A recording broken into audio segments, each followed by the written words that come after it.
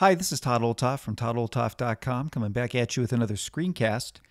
In this week, we're going to continue our search for different types of software that might replace some of the services that will be deprecated in macOS Server. And so, again, for those of you that may not know, uh, macOS Server will be deprecated in the spring, uh, somewhere probably around June of 2018. And so that means that a number of services will be going away. And so what I wanted to do is to put some screencasts together to give you some alternatives so that you could still run your own home server uh, just now outside of what we normally would do inside a macOS server. Now, a few of the services that are going away are things like calendars and contacts that we had in server. Uh, those things will be uh, deprecated here in the spring. And so I wanted to give you some uh, options to replace those things in case you wanted to run your own iCloud type service. Now, one of the things that uh, we're going to look at today is running an application that is called OwnCloud. Now, OwnCloud is uh, basically, as it states, it sets up your own cloud in the sense that it allows you to sync things like contacts, calendars, uh, photos, files. It almost works like Dropbox in many ways uh, across your various devices.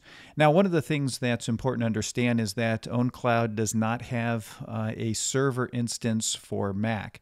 So, running a server uh, for OwnCloud on your Mac as is is not going to work. Uh, but what I'm going to do is show you a way to work around that so that you can run OwnCloud on your Mac Mini since you already have your Mac Mini established as a server. I want to show you how that works. So in order to do that, what we're going to have to do is install an application called Docker. And so let me just show you that for a minute here. Actually, let's go to this screen. So Docker is uh, an application that runs a virtualized uh, mini Linux uh, virtual machine that includes various containers that you can add within that machine so you can run different instances of software. Uh, one of the great things about this application, if I just go over here to the Docker store, is that there are a number of different applications that you can run inside uh, your Docker instance because, again, it is running a, a mini uh, Linux solution. And so you could go through and see all the various containers that they have available. Well, OwnCloud is one of those things that you can run inside a Docker instance. So we're gonna I'm gonna show you how that works so you can get that set up and ready to go. So if you come over to um, the docs.docker.com, uh, right here and you're going for Docker for Mac uh, is what you want to find right here is where it says Mac. Uh, you can see we've got a stable channel and an edge channel that we can install from. Uh, we're going to go ahead and get the uh, stable channel for Mac to install it. Now right on the page it does give you uh, some instances and some things to know. Uh, again, in order to run this you've got to be running El Capitan or newer and you need a Mac Mini that's 2010 or newer. So if you're using an older Mac Mini you're going to have problems with with that. And so at that point, you may want to consider other options like maybe um, a, a, NAS, like a Synology or something like that, that you can run this on. Uh, but just wanted to uh, let you know that those are some of the system requirements that uh, that are needed, and you can kind of go through here and see if your machine is up to specs as well as the software that you've got. So I've already downloaded this, so I'm just going to come up here uh, to my download area here, and we're just going to double click on the Docker image. And let me just go ahead and put this down right here so we can just run this.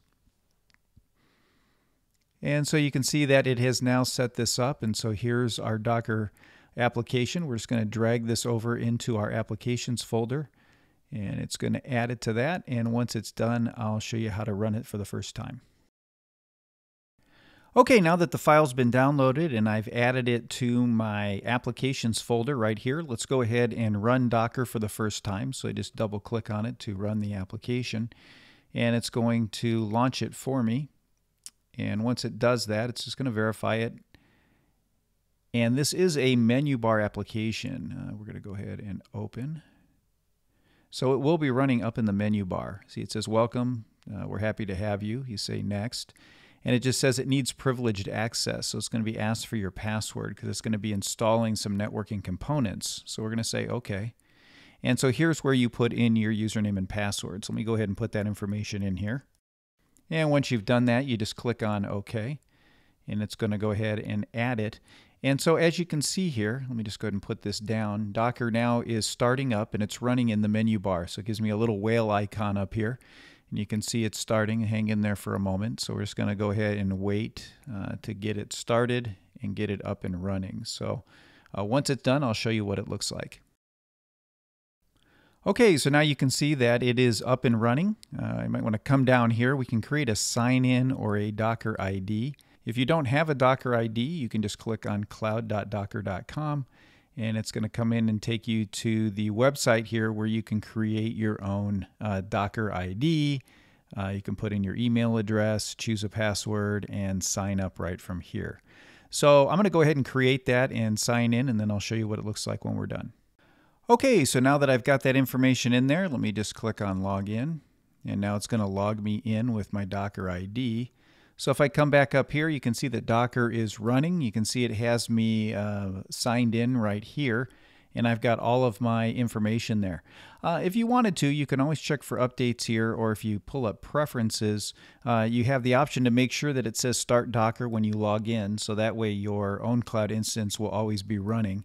Uh, you can check for updates. You could also include this virtual machine in your Time Machine backups if you're doing that. So if you want to back this up, you'll want to check that box right there to make up, uh, you know, how to have it being backed up by Time Machine. Now it's going to increase the Time Machine backups, obviously, because you're going to be putting information in there. I'm just going to cancel for my purposes, but just wanted to show you that's there.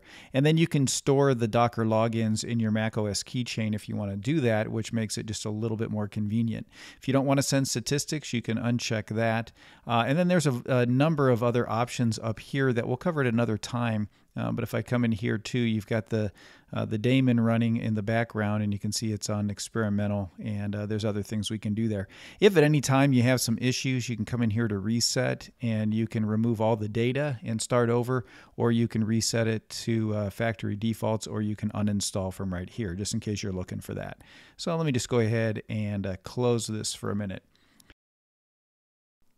Okay, now that we've got Docker all set up and ready to go, now what we're going to do is create uh, two mini machines in essence. We're going to create uh, a container for OwnCloud, and we're going to create a container for a uh, database called Maria uh, database. Uh, you could also use uh, other database options without that that name, such as MySQL or whatever. but in this case, that's what we're going to set up. So what we're going to do the first thing we're going to type is uh, cd and then enter. And then we're going to make a directory. And so I'm going to show you how to do this. Uh, own cloud with uh, underscore and then docker. And you can see the file already exists for me because I've already put it in there. Now what we're going to do is do cd again. And we're going to say own cloud with the underscore. Let me get that right. Own cloud underscore uh, docker. Just like that. I'm going to hit enter. And you can see it puts us into that place. And then here we're going to create touch docker dash this time compose.yml just like that so that we've got that set and ready to go. We're going to hit return. And then we're going to say open docker um, compose because we're going to want to open that file now. And it's going to do is open it in your favorite uh, text editor, whatever that is. In my case, I'm using Atom. And so I get this uh, blank document right here, all set and ready to go. Now, what I need to do is just paste some text in there. And so I'll just paste this in for you. And uh, there's a website that you can get this from, and I'll, I'll show you that, and I'll put it in the notes. So I'll just paste this text in. And so this is the text that I need here in this file. You'll see here that I've got an own cloud instance here, and then I've got the uh, database instant right, instance right here, the Maria database. So a couple things that I can do. First, I can change the port here. If I don't want it on 8080, maybe I've got something else going on. I could change it to something else, like let's say 8434, something like that. Uh, down here, you want to make sure where it says example that you're putting in a password there so that you change this to a password because you'll be logging in as root. So we want to change the password to something that only you know. So let me go ahead and put that in here.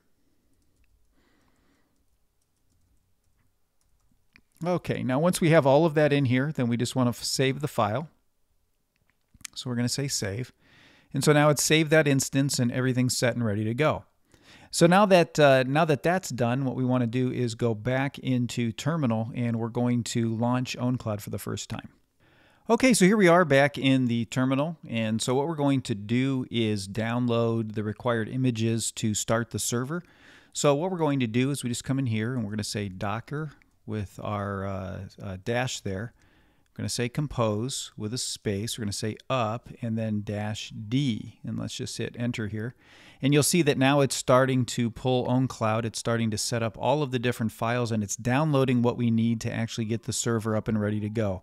So I'm going to let it go through its process of downloading everything. And when it's complete, I'll show you what it looks like on the other side. Okay, so as you can see here, everything is set up and done. OwnCloud's been created, and so has the Maria database. That's been all set up and ready to go as well.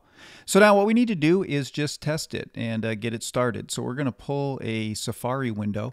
And what you're going to do is in here, you're just going to put localhost with the actual port that you had set up before. And so in my case, it was 8434. So if I just hit enter, you can see that now it's launched OwnCloud, and this is my own OwnCloud instance. So now from this page, there's a few things that we actually uh, that we actually need to set up here. So right here, you can see at the top, we're going to have to put in our administrator name and password. So you can choose one uh, for whatever you want it to be, and you can put it in here. So I'm just going to put in, let's say, uh, let's go admin, and then I'm going to put in a password. It'll tell you if it's a good password or a strong password or a so-so one. In my case, it says so-so, but that's okay. That's what I want for now. So now I got to click this little storage and database right here and I get this drop down. Now I'm going to use leave the user data uh, folder alone right there. Uh, but if I come down here, what I'm going to do is instead of leaving it at the default, see right here it says Maria database. I'm just going to click on that and you notice that I get this drop down with all this information that I need to put in. So what I'm going to do is right here for database user, since I didn't change anything, I'm going to put root. For the password, I'm going to put that password that I put in on my YML file. So the same one you had from before. Okay, so I type all that in there. In terms of database name, you can just leave it as OwnCloud because we just left it uh, that way. So we'll keep OwnCloud by itself, just like that. And then down here, instead of localhost, you can just put MySQL if you want to do that. So we've got that all set and ready to go. So now that that's done, all we need to do is click on uh, Finish Setup. And so we're going to say Not Now. And it's going to go through the setup process here and load OwnCloud for the first time. So it might take a, a few minutes so once you get started because it's got to load everything. Uh, because it's doing configuration in the background as it's loading the screen. But once it's finished, we should have our own instance of OwnCloud. Now, one of the things you need to remember is to open the port that you set up in that uh, YML file. So in my case, that 8434, I have to open that port on my router uh, to uh, my server, pointing to whatever server I'm using to host this in order for it to work. Otherwise, you won't get uh, this screen in the first place. So I'm going to go ahead and let that load and do all its configuring. And as soon as it's finished, we'll come back and take a look at what it looks like. Okay, the database has been configured. Everything's ready to go. Uh, I've already put in my login credentials here, but you would put in the login that you set up on the last screen. And we're just going to go ahead and hit enter. And I'm going to say not now. And we're going to let this load for the first time. And so here we are in our very own instance of OwnCloud. Now, the beauty of this, like I said, is it is your own uh, Dropbox type of database that you should be able to access remotely. You notice there's a desktop application as well as um, iOS applications as well that you can use. You can also access your files via WebDAV. You can connect uh, your contacts so they can have access to those files as well and connect your calendar. And I'm going to do some screencasts to cover this in depth, but I wanted to show you how to get this all set up and ready to go so that you've got your very own OwnCloud instance running on your Mac server. So that's all I have for this week. I'll be back at you next week with another screencast to help you learn how to do more things with your Mac. If you're interested in help in setting up your own server, feel free to contact me at todd at toddolthoff.com.